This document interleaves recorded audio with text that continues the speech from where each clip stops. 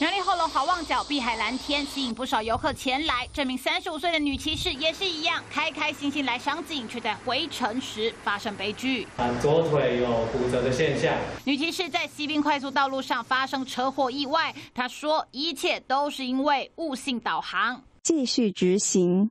监视器拍下女骑士在导航的指引下逆向骑进西滨南下快车道内，在一百零八公里处看到轿车迎面而来，她吓得想闪却躲不过，还是撞上。循着我们的行车导航一时不察，后哦逆向行驶到我们的西滨台六十一线快车道。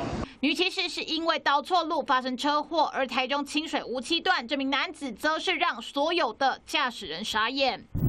身穿蓝色背心的男子骑着粉红色小绵羊，大辣辣骑在台六十一线上，不止没戴安全帽，车牌也用红色胶带贴住。网友纷纷留言：他是不是以为贴这样就是红牌？没戴安全帽却知道要戴口罩，可能要等躺在医院才会后悔。就彭志明第四新的警城台中苗栗采访报道。